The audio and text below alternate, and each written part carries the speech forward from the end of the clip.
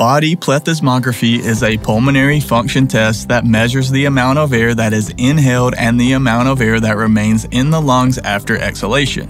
We created this video to cover the medical definition and provide a brief overview of this topic.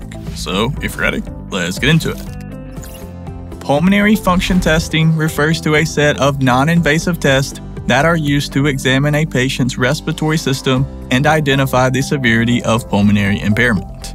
The tests measure how well the lungs are able to take in and release air and how efficiently they are able to exchange oxygen and carbon dioxide. In order to perform PFTs and obtain accurate results, it is important to use the right types of PFT equipment. One of those being a body plethysmograph. As previously mentioned, a body plethysmograph is a large box in which the patient enters that can measure the amount of air that is inhaled and the volume that remains in the lungs after exhalation. This volume that remains in the lungs is known as the residual volume. And by being able to measure the residual volume, it is helpful in assessing how a disease is affecting a patient's lung function. It can also help confirm the presence of a restrictive lung disease that may significantly reduce the total lung volume. Spirometry is the standard method for measuring a patient's lung volumes, however, it is not capable of measuring the residual volume. This is when body plethysmography comes in handy.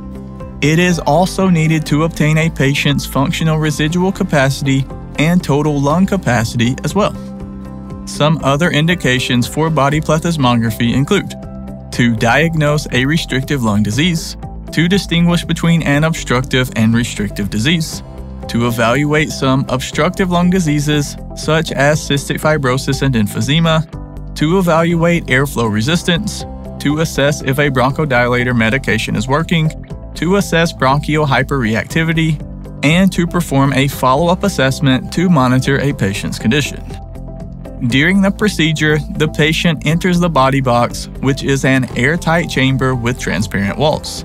They are instructed to make respiratory efforts against pressure, which causes the chest to expand and it decompresses the air in the lungs.